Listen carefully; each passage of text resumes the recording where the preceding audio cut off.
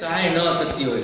તો આ વૃદ્ધો અને નિસહાય વ્યક્તિઓના રક્ષણ અને સલામતી માટે ગવર્મેન્ટ દ્વારા, સરકાર દ્વારા જે પગલાઓ લેવામાં આવ્યા છે, એ પગલાઓ કયા કયા છે, એની જો આપણે વાત કરીએ, તો પહેલો જ પોઈન્ટ છે કે વૃદ્ધો અંગેની રાષ્ટ્રીય નીતિનું નિર્માણ કરવામાં આવ્યું છે. તેની દેખરેખ તેમની જાળવણી, તેમની સલામતી અને સહાય માટે આ નીતિ ખૂબ જ ઉપયોગી પુરવાર થઈ છે અને એ નીતિ અન્વયે દરેક વૃદ્ધોને આર્થિક સહાય પ્રાપ્ત થાય એ સરકાર દ્વારા એવી ફરજ પાડવામાં આવી છે, એવી નીતિ અમલમાં મૂકી છે અને આર્થિક મદદ કરે છે.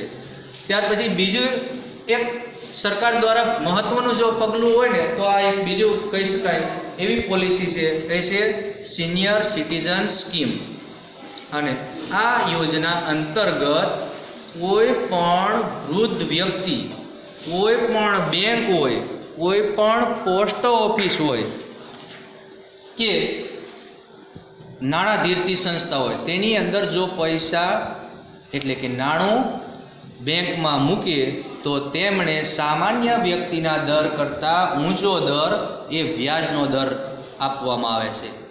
ત્યાર પછી કોઈ પણ સિનિયર સિટીઝન્સ જાહેર ગવર્મેન્ટ બસનો ઉપયોગ કરે, તો તેમણે ત્રીસથી ચાલીસ ટકા છે એ કન્સેશન આપવામાં આવે છે, એટલે કે રાહત આપવામાં આવે છે.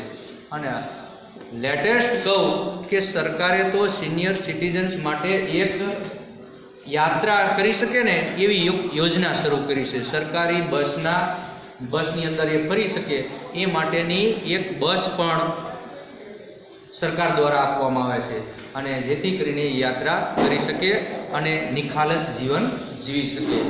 એવી યોજના પણ સિનિયર સિટીઝન્સ માટે કરેલી છે. સાઠ વર્ષથી ઉપરની કોઈ પણ વ્યક્તિ હોય તો તેને સિનિયર સિટીઝન્સ કહેવાય શકાય. અને ત્યાર પછી આ બધા લાભો પ્રાપ્ત થાય છે.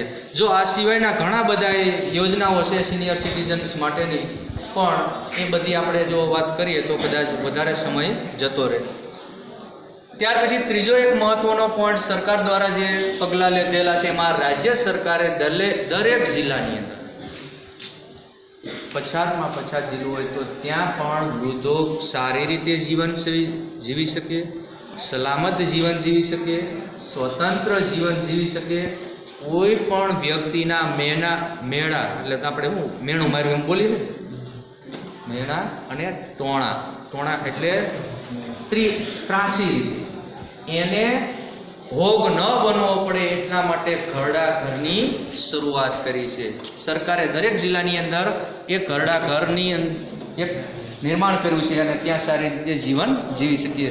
ઘર કરતાં પણ સારું વાતાવરણ એમને પ્રાપ્ત થઈ શકે છે.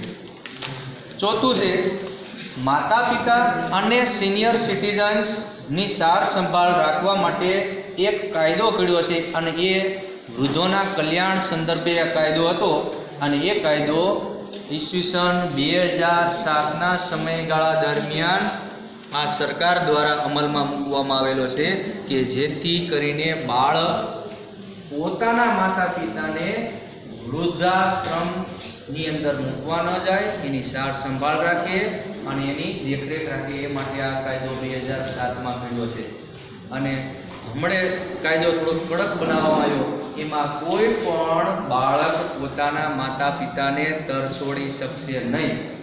સારી રીતે જીવન એ જીવી શકે, એની દેખરેખ રાખે, એ માટે કેટલાક કાયદાની અંદર કડક જોગવાઈઓ થોડા સમય પહેલાં કરવામાં આવેલી છે. તો પણ એ સલામત જીવન જીવી શકશે. પોતાની વેદના છે એ ઠાલવી શકે એ માટે આ ઘરડા ઘર છે, એ બનાવવામાં આવેલા છે.